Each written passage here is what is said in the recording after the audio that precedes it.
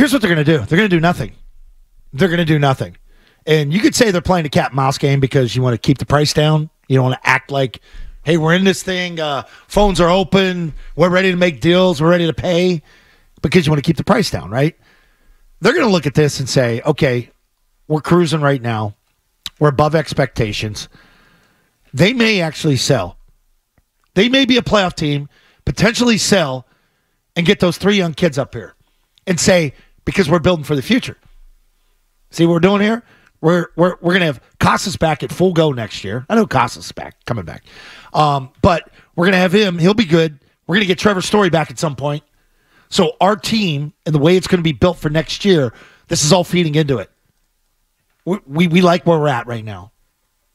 You know, they're looking at the graphs, they're looking at the data as they like to call it. But like the data is different. This is not the last couple of years where you stood. You go back to the trade deadline, and I think them saying we haven't made a decision yet. Listen, most teams are that way with the trade deadline now, or with the All Star break and how the MLB draft mm-hmm. is. It's a two week crunch until the deadline. They didn't want to buy. They didn't believe in this team. They viewed it as a developmental year. So they're going to let this thing play out as far as they possibly can before their hand is forced but this is a 48% chance to make the playoffs, and you're holding the third wild yeah, card right now, That's great. gaining on the second. The you, last two years at the trade yep. deadline, you had a 24% chance and a 24.6% data. chance. Yeah, data. This is different, but the data is what Breslow believes in. You are in a different space than you have been. If you play hard the next three weeks, they are going to have to buy to some yeah, level. but that's great. That's great if Breslow believes in it, but what does the owner believe in? The, the, the owner told the fan base to be smarter. And that's where you okay. start to have the convo. This do is great do, because Buster right, like Olney. You, you could throw uh, Fangraphs yeah, percentages. You're data boy. I know long, you're data right? boy. You watch his team every minute. It doesn't, you're, you're Mr. Data. Matter. It doesn't matter. It doesn't. I'm, I'm preparing for nothing. I am preparing for nothing. Because the truth is, if they thought the team could make it and they actually were interested in making it, that's the key part. They're a fun team. I, get, I give it to you. They're a fun team to watch. Whether or not they're capable is not factoring into their equation.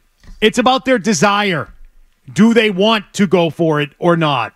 They're certainly capable. They've proven they're capable of being a playoff team. You don't need any more evidence. It's July 8th. They would have to completely crap themselves over the next three weeks, okay, and lose 80% of their games for you to look at them and say, oh, we were wrong about them. They could play 500 ball between not, now and the deadline, yeah. and they would still be worthy of investing in because you've seen enough from this team to know, oh, there's something to this team. There's something there.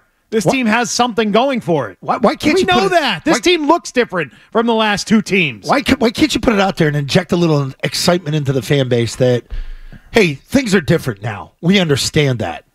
You know, different time, different story. I know before I left for vacay, they were talking about okay, going back to that Verdugo game against the Yankees, right? That was the turning point. Yeah, okay, things are different now. Let's start putting it out there. Get people excited. Get the team excited. Get them want to be hungry.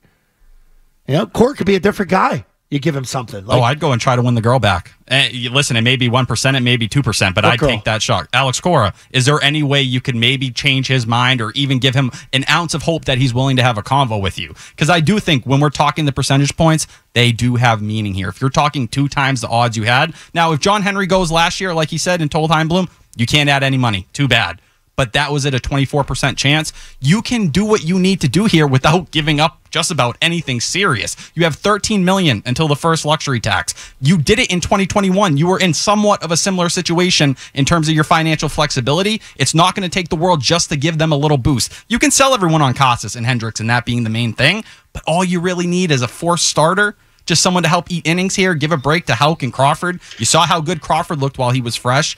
I don't think they're ruling that out. I just don't see them as major buyers. You're not going to get Garrett Crochet, but will you get marginally better? I think you could do 2021 again.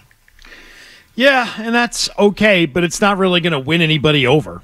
It's not going to have anybody convinced that they're truly invested no. in this team in, in the near future. It just won't. It won't be enough. I mean, they're having a hard time getting people interested in this team right now as is, and they've been more relevant than they've been in years. So was 2021 though, and you were a better team. You were at the top of your division at that point, and no one gave a damn about that team until October. But if you give yourself a chance, and it seems like this team's surging, if you're just being honest, you talk about the Diamondbacks. Which team in the American League right now do you really fear? It's the Orioles. But besides them, I'm not really scared of anybody. There's a there's a path there for the Red Sox to be competitive in the playoffs.